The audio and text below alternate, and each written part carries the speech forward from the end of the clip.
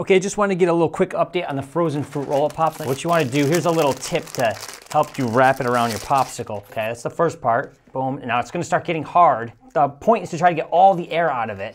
And you see there's some bubbles here on the side here. You can see a little bit of air gaps, that's not good. Little tip, dip your hand in some water. I know it's gonna get a little sticky, but that's okay. And just rub it around and it will seal perfectly to it. As you can see here, there's no air gaps at all. It's perfect. We'll give it a test bite. Mmm, perfect. Excellent treat. Give it a try.